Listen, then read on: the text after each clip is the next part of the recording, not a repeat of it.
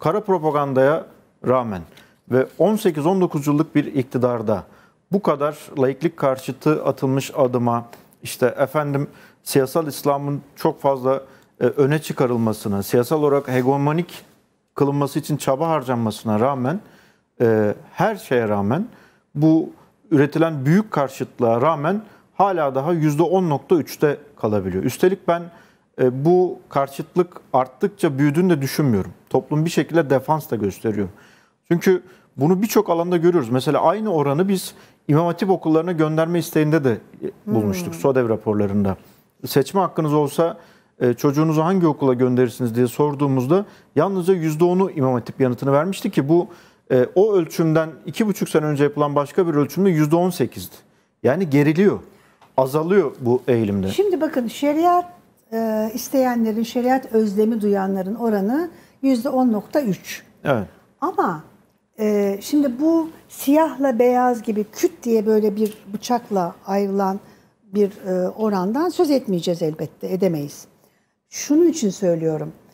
Laiklik isteyen, laikliği savunan, laikliğin önemli olduğunu söyleyenler de neticede kimi e, dinci siyaset tellallarına, bezirganlarına e, yol veren, hurafelerle kafası karman çorman, e, bizi e, işte camide melekler koruyor diye e, orada işte ko, e, korona aşısı olmayı düşünmeyen e, milyonlar da var.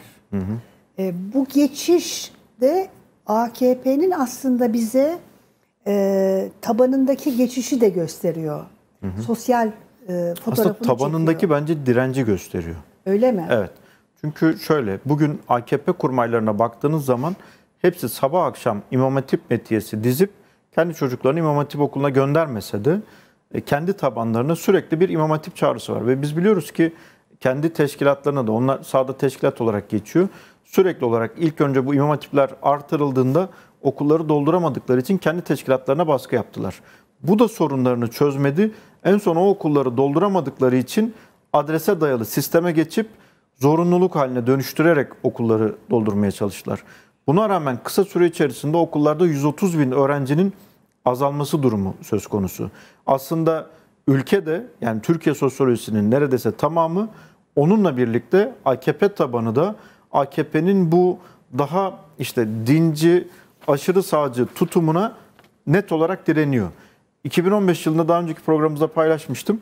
Ee, topluma onluk cetvelde 10 aşırı sağ, bir aşırı sol temsil etmek üzere partinizi nereye koyuyorsunuz, kendinizi nereye koyuyorsunuz diye sorduğumuzda AKP seçmeni partisini 7.6'ya kendisini ise 6.7'ye işaretlemişti. Yani partisine göre daha az sağdaydı. Partisini kendisine göre daha sağda görüyordu. Bu çalışma yenilense bugün daha büyük boyutlarda olduğunu görebiliriz. Toplum net olarak bir daha fazla dincileşmeye, iki daha fazla aşırı siyasete, başta aşırı sağ olmak üzere aşırı siyasete kaymaya direniyor, direniş gösteriyor. Peki, e, şimdi bunlar e, genel olarak hani bir e, teorik olarak diyelim ki evet doğrudur ama gündelik hayatımıza baktığımızda pratik olarak e, yine doğru. Ama son 20 yılda evet. hayatımızda pek çok şeyi kaybetmedik mi? Yani artık e, Bakın hani, şöyle e, kural ve kaydelerdeki değişikliği anlatmıyorum. kalmadı diyelim. Kurak ve kural ve kaydelerdeki değişiklikleri kastetmiyorum ama toplumun meseleye bakışını e, ölçtük ve ancak onu söyleyebilirim size. Toplumun bakışı bu alanda son derece net ne kendi geleceğinde ne çocuğunun geleceğinde daha fazla İmam Hatip veya türevlerinin e, salık verdiği bir yaşam biçimine dair hayal kurmuyor. Peki ee, bugün e, seçim olsa bir o grafiği de bir görelim. E, orada bu e, sığınmacı politikalarının etkisini de keza konuşuruz. Bu sizin e, araştırmanızın, son araştırmanızın hı hı. kararsızlar dağıtıldıktan sonraki hali. Şimdi hı hı. kararsızlar da tam böyle mi dağılır ona da bir bakmak lazım. Hı hı. AKP 30 sınırı, %30 sınırında hı hı. hala yüksek bir oranda. Fakat orada e, CHP'nin bir artışını görüyoruz. Yüzde 28.7 değil mi? Evet.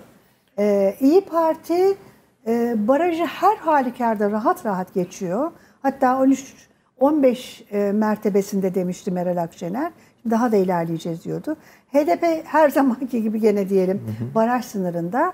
Elbette MHP çok ciddi bir oy kaybı. Yüzde onun 10 barajını geçemiyor. Onun için yüzde yediye indirmeye e, Cumhur İttifakı'ndaki e, gücünü kullanarak çalışıyor. İşte diğer partiler devam ediyor. E, Deva Partisi e, Babacan'ın Çıktığı bandı koruyor aslında. e, 2.6 hiç Evet, fena o- değil. o civarda. E, şimdi burada siz bir bunu anlatın. Buradan bir göç meselesi e, özellikle yani pek çok başlığını konuştuk e, iktidarın oy kaybında ama göç meselesini e, bir anlatın. E, hemen e, bu arada hoş geldiniz de diyeyim ben e, diğer konuğumuza Skype marifetiyle karşımızda Profesör Murat Erdoğan Türk-Alman Üniversitesi öğretim üyesi ve özellikle güç, göç konusunda uzman bir isim. Göç ve Uyum Araştırma Merkezi Müdürü.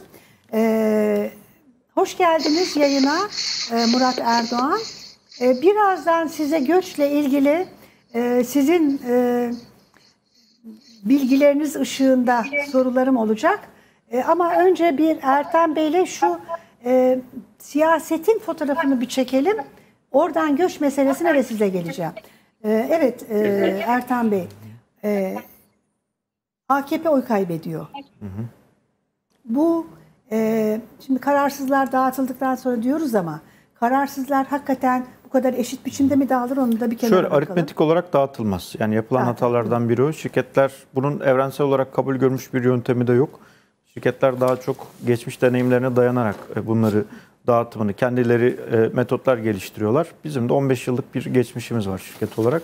Kendi metodumuzla dağıtıyoruz ve sonuçlar bunlar. Şimdi burada önemli olan şey şu. e, Bu sonuçlar özellikle muhalif seçmenlere ki bir muhalif olarak bana da son derece iyi gelen sonuçlar. Ama ondan daha iyisi trend açısından baktığımızda daha büyük bir sonuçla karşılaşıyoruz. Sistemli olarak AKP geriliyor. e, Erdoğan'ın desteği geriliyor. Muhalefetin desteği ve e, partilerin oyları da e, artıyor. Muhalif liderlerin de desteği artıyor.